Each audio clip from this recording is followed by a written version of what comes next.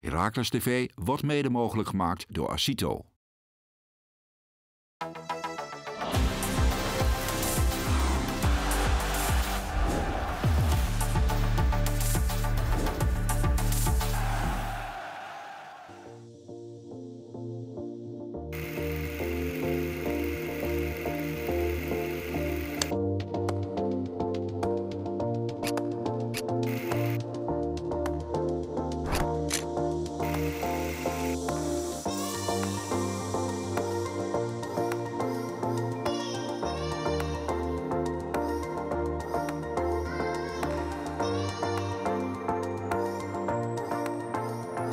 Oh, das ist ja schon über Jahr her. Wacht mal. ehm, Eh, ja, trainingskamp Cadiz. Eh, dat is al bijna een jaartje geleden natuurlijk. Eh, maar het was een goed trainingskamp, leuk trainingskamp. Eh, veel getraind. Je zit dicht, bij het team. Eh, Het team is altijd samen. Ehm, ja, als training klaar is, kunnen we een beetje samen zitten en plezier hebben. zo is het is een leuke tijd altijd. Ook zo in Spanje, lekker in de zon.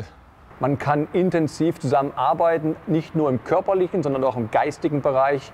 Man hat die Spieler nah, man kann mit ihnen Gespräche führen und äh, man hat auch Anekdoten, die man die ganze Saison mitnehmen kann.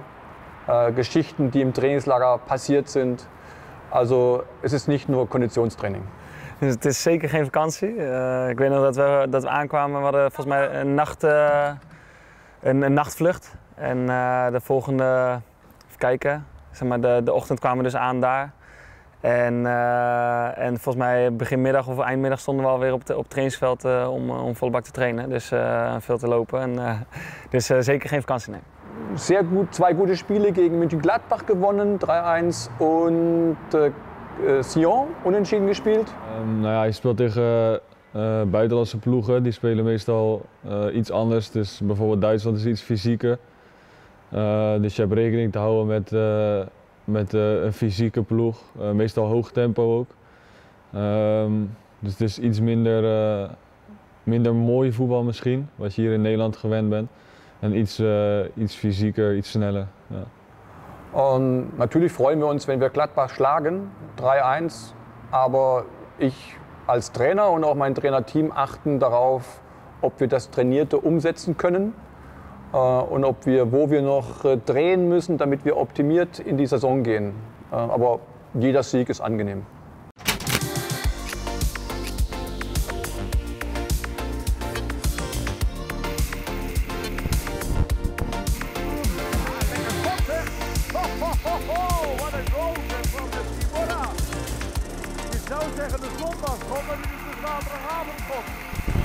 Leuke, druistige speler om te zien. Aanvallend natuurlijk heel erg ingesteld als, als linksback. En eh, ik denk dat het voor het publiek eh, heel mooi is om te zien eh, dat, hij, dat hij lekker onstuimig over die, eh, over die flank heen rent. En had volgens mij aardig wat assist. En, eh, Maar als je tegen Groningen ziet, eh, gaat hij een prima doelpunt maken. Eh, zo die kwaliteit heeft hij ook. Maar het is prima om te zien dat hier ehm, spelers kunnen stappen doen. En ook eh, naar Atalanta, naar topclubs naartoe. Eh, als je het zo ziet, eh, is het een goede kans om hier echt hard te spelen, goed te spelen.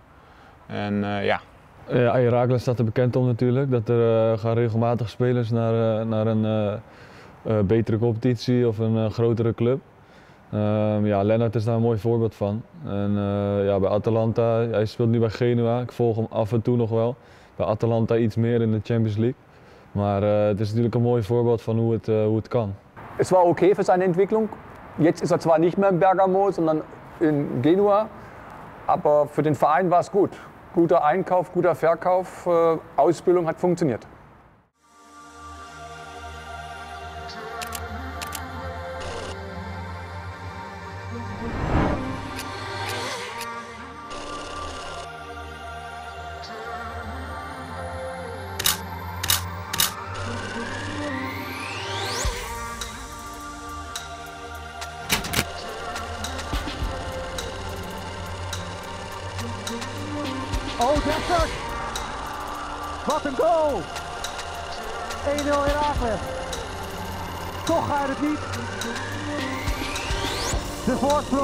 Voor Herakles Almelo.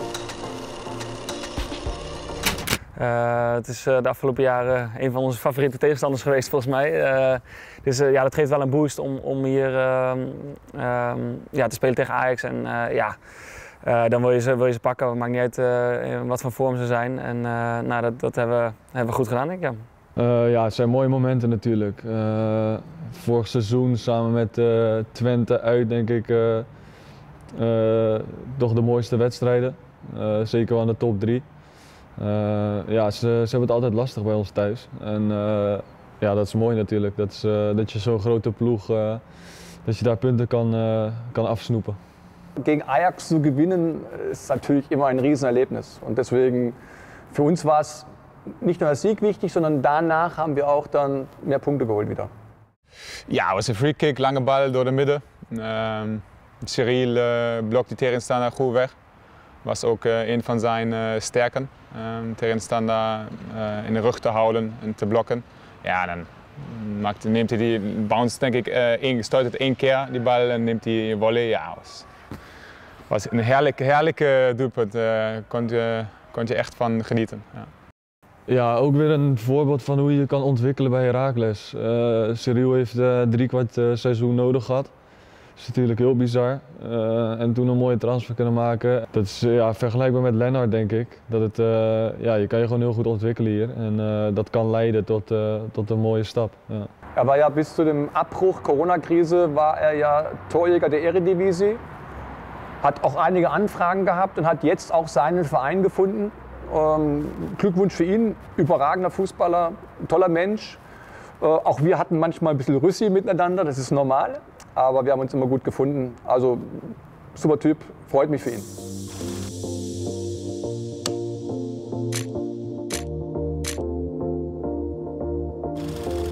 Beste Heraklide, Robin hier. Helaas eh, zien we elkaar een aantal weken niet in het stadion. Ik hoop dat er snel verandering in gaat komen. Eh, gelukkig hebben we genoeg te doen. We kunnen natuurlijk documentaires van Heracles kijken, van de mooie wedstrijden van de afgelopen jaren. Ehm, zorg goed voor elkaar en eh, be safe. Bye bye.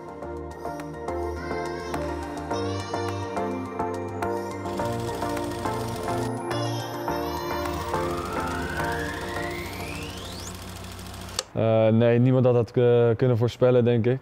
Eh, lag abrupt stil. Eh, voor iedereen, niet alleen voor voetbal. Ja, ik denk dat iedereen dat hetzelfde ervaart. Gewoon plotseling en daarna van wat nu?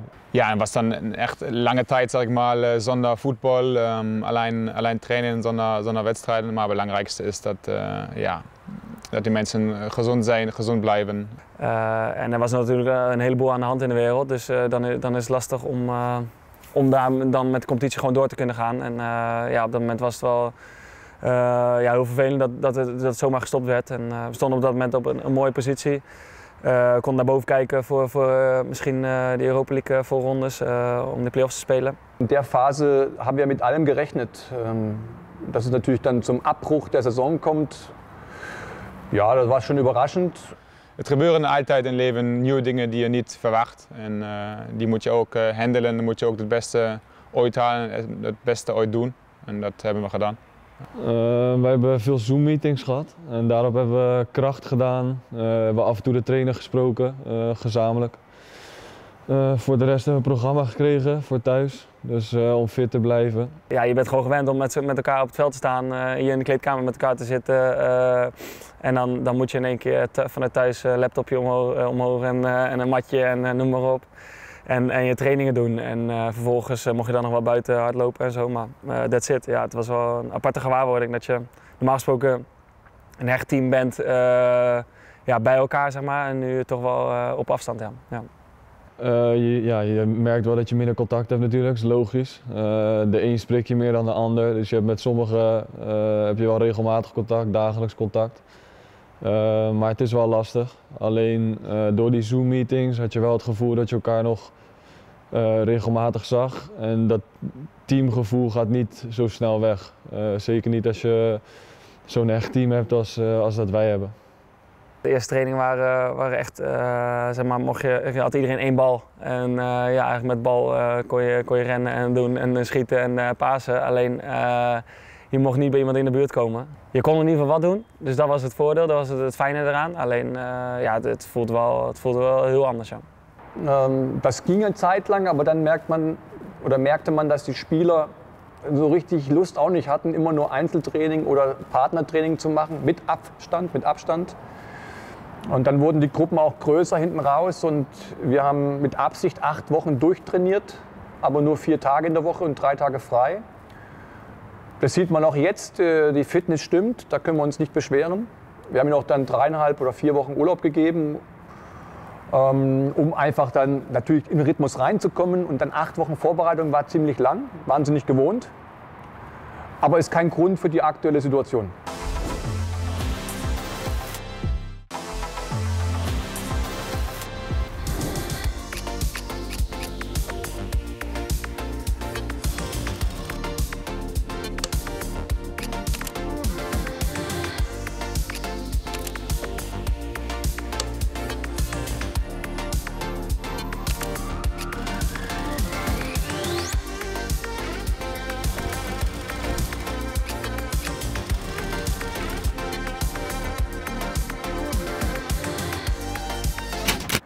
Den Bezug zu den Fans und den Zuschauern und äh, Gönnern und Sponsoren müssen wir immer halten. Das ist unheimlich wichtig und in dieser aktuellen Zeit schwer möglich, weil wir nicht direkten Kontakt haben. Aber unsere Abteilung im Marketing und Kommunikation arbeitet hervorragend in dieser Zeit, sodass sie ständig immer wieder Herakles an die Fans bringt.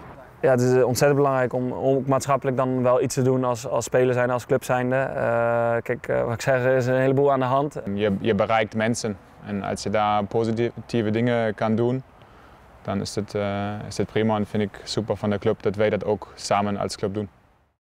Ich finde, diese, diese Dinge, die wir gemacht haben, waren super, waren gut. Aber es, äh, trotzdem, wir müssen die Fans wieder ins, in das Stadion bekommen.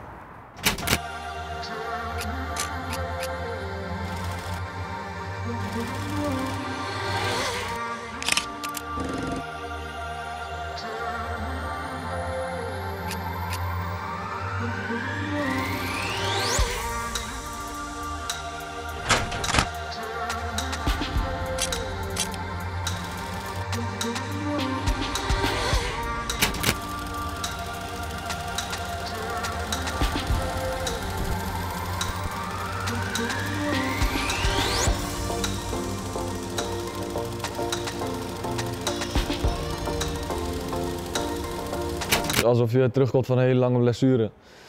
Eh, je leeft er heel lang naartoe. Eh, je hebt lang moeten wachten. En je bent gewoon gereten gewoon weer, eh, weer te beginnen. En dat je dat eh, weer samen met de fans kan doen, dat is top. Dan is het ontzettend fijn dat je, dat je trainingen en, en, eh, en wedstrijden uiteindelijk wel weer met eh, nog niet een heel stadion vol, maar wel in ieder geval met supporters eh, kon spelen. En eh, nou, dat, dat eh, bleek ook meteen wel in de eerste wedstrijd die we speelden, denk ik. Ja.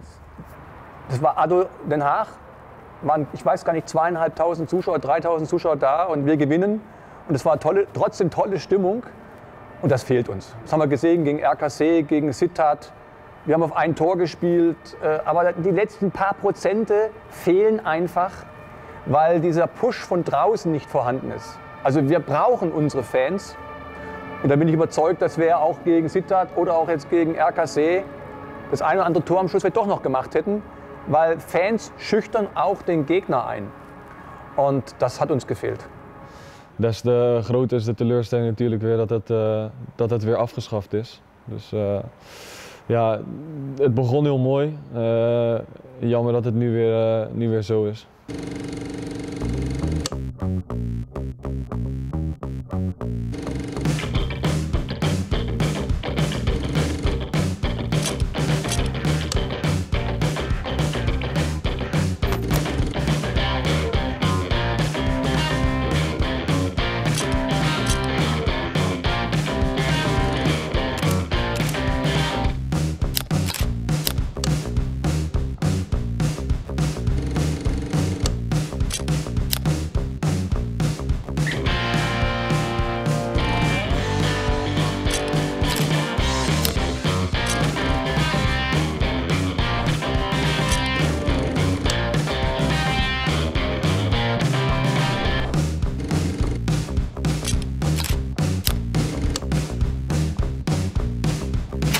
Naja, Utrecht habe ich nur vom Fernseher aus gesehen, weil ich Corona hatte, den Virus. Äh, Da haben wir sicherlich fußballerisch sehr gut gespielt. Gegen PSV habe ich eine extrem starke, zweikampfstarke Mannschaft gesehen, die dem Gegner wirklich wehgetan hat.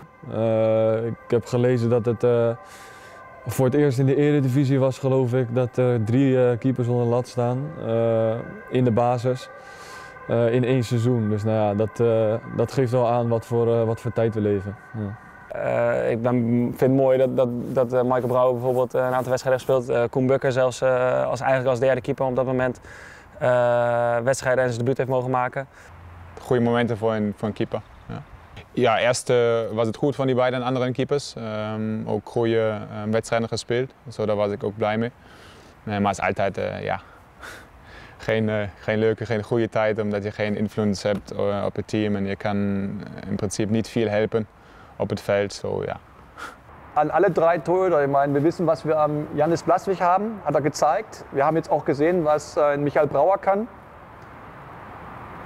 Und Kuhn Brücker, muss ich sagen, ich war so überrascht über seine Leistung. Ich habe zwar im Training immer gesehen, was er drauf hat, aber dass er so cool als Torwart Nummer drei auf dem Blatt steht und so gut gehalten hat, muss ich sagen, Kompliment, war in Ordnung.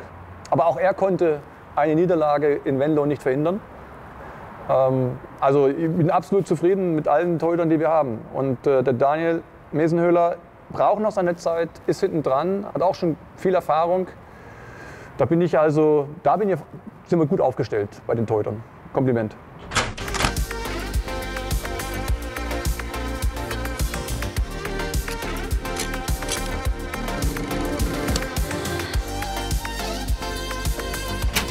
Ja, ehm, eh, we begonnen natuurlijk goed met de, met wedstrijd tegen ADO Den Haag. Eh, daarin eh, kon je zien, meteen zien waar onze kwaliteit lag. Zeker ja, thuis, het voelde goed. Eh, we waren eigenlijk weer begonnen waar we, waar we geëindigd waren het jaar daarvoor. Ik weet niet, het is moeilijk te zeggen waar het precies aan lag. Af en toe had je het gevoel dat het gewoon net de verkeerde kant op viel. Als je tegen, volgens mij was het tegen RKC en tegen Fortuna ook, hebben zij amper een, eh, een kans nodig om te scoren. En wij eh, hebben er acht schoten, schoten nodig om überhaupt tot een eh, grote kans te komen. Ja, dat is lastig om, dat, eh, om, dan de vinger erop te leggen wat het probleem is. We spelen geen, zum Teil geen ehm, heel slechte wedstrijden. Ehm, het zijn echt kleine details die dan het verschil uitmaken. En ja, wij moeten kijken dat wij echt samen blijven werken, hard werken. Ja, wedstrijden verloren die we niet hadden moeten verliezen. Eh, ik kan me RKC en Fortuna Sittard bijvoorbeeld thuis hier herinneren. Eh, die, ja, waar je eigenlijk gewoon zes punten moet pakken, eh, waar, je, waar je ze niet doet. Da habe ich zwei Herzen in meiner Brust. Auf der einen Seite sehe ich eine Mannschaft, die wirklich gut arbeitet, die kein Rüssi hat, keine Streitereien, ein paar normale Konflikte, die sind normal, die miteinander arbeitet, trotz Niederlagen wieder aufsteht, immer wieder an sich glaubt. Und auf der anderen Seite sehe ich auch, welche Schwierigkeiten habe, wir haben, Tore zu erzielen, Tore zu verhindern. Ähm, das ist natürlich so eine, so eine Balance zwischen, wir geben Vertrauen, wir geben den- Spielern den Hinweis, ihr seid gut, glaubt an euch, aber auf der anderen Seite sind die Ergebnisse der Eutzlach nicht so gut.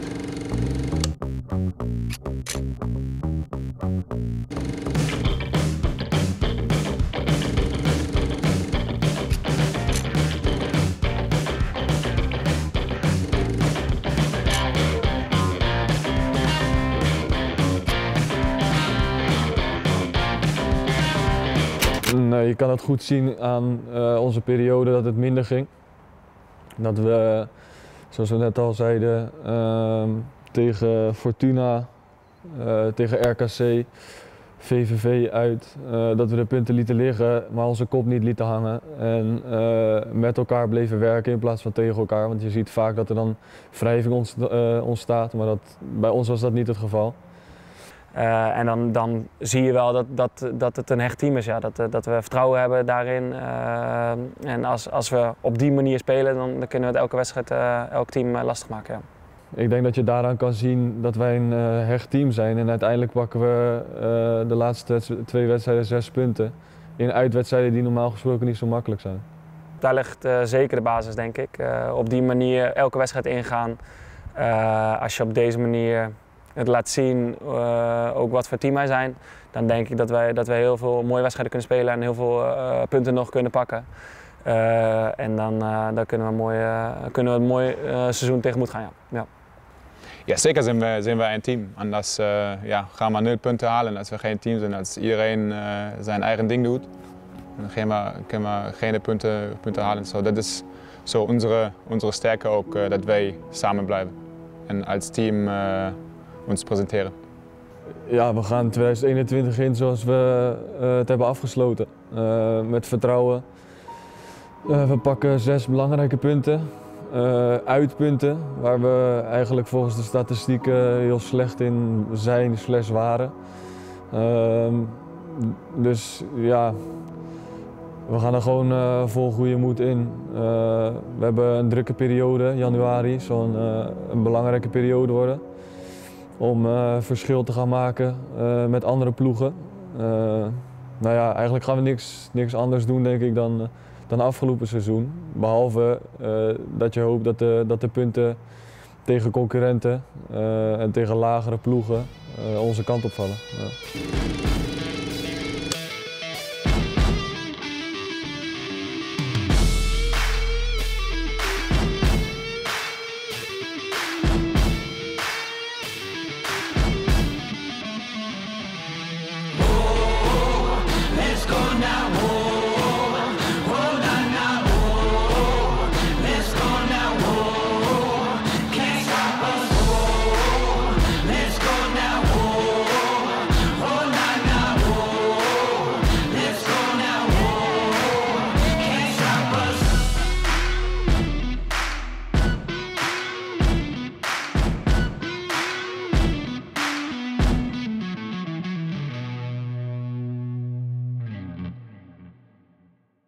Heracles TV werd mede mogelijk gemaakt door Acito.